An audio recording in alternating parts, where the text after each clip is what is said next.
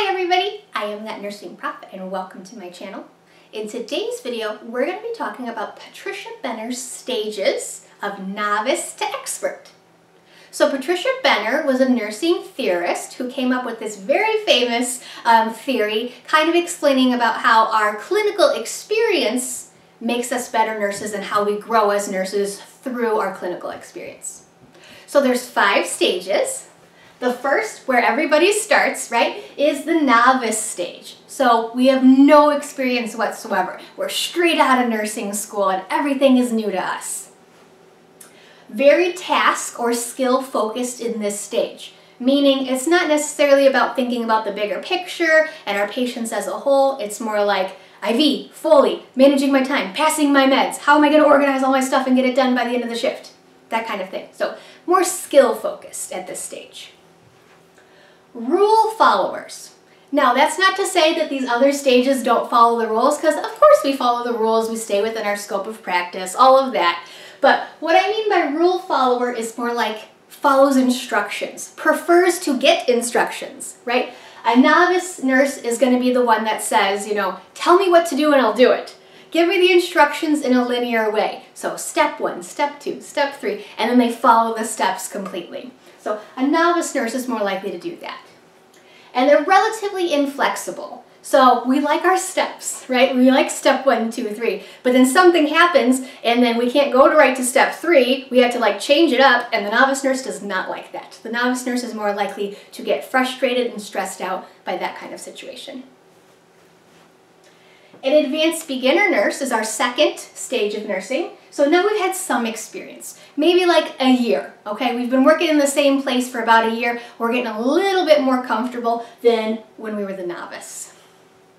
And we're gonna use our past experience that we've gained while working there to help guide our future actions. Stage three is competent. A competent nurse is a nurse who's had two to three years experience in the same area. So working in the same part of the hospital or the same, you know, field, specialty.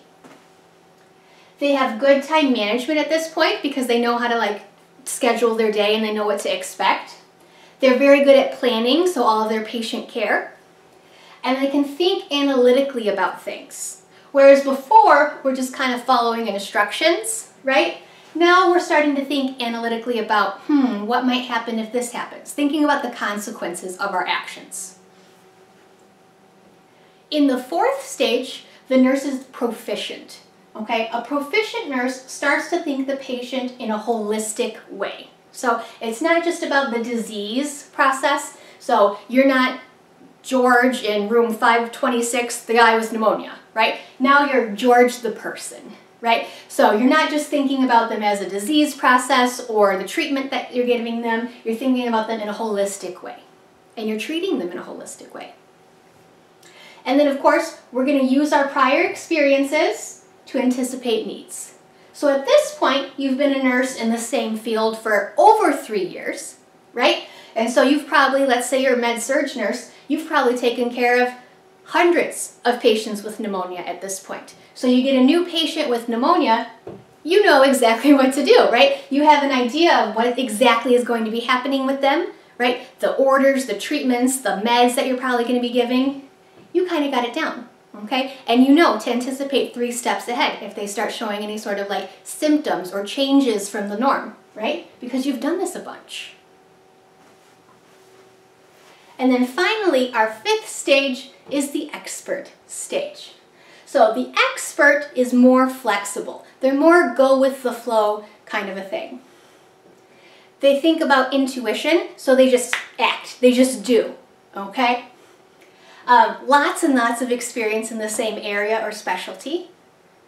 And it looks like everything just comes naturally to them, right? If you're one of these other stages, especially if you're a novice and you see an expert nurse, you're just like, how do they do it? They just make it look so easy. They don't have to think about anything.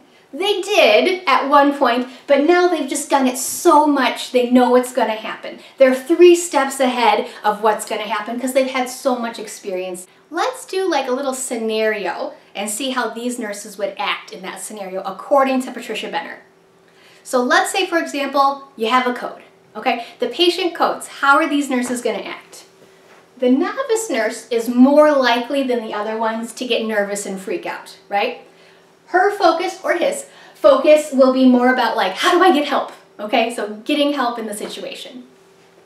The advanced beginner nurse is more likely to start CPR because they have some experience. They know, okay, I've seen a code. Maybe they've been in a code before. Um, and then what do I do? Oh, I don't know, I'll just do CPR. And that's helpful, right? That's helpful. All of these people are doing something helpful. The confident nurse starts thinking about like, okay, do I need to get the crash cart? Should I start recording, you know, what's going on? The proficient nurse is going to be thinking about, you know, the next steps. So, okay, this one's doing the CPR.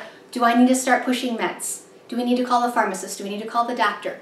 That kind of stuff. So they're thinking further in advance about what's going to happen. And then the expert nurse is the one in charge. The expert nurse is the one who runs the code and kind of tells the other ones what to do. You start the IV, you get the crash cart, you call the family, you get the doctor, that kind of stuff. One other thing I really wanted to point out in this video is just because you've been a nurse for a really long time doesn't mean that you can't fall into any one of these five categories. For example, if you've been an oncology nurse for 20 years and then all of a sudden decide to transfer to, you know, the OR, you're a novice again, right? Because that's not what your expertise is. So you might be an expert in oncology, but now you're a novice in the OR. So that was my video on the Patricia Benner stages novice to expert. I hope you found this helpful. Don't forget to like and subscribe. If you have any questions or comments, please let me know. If not, I'll see you on the next one.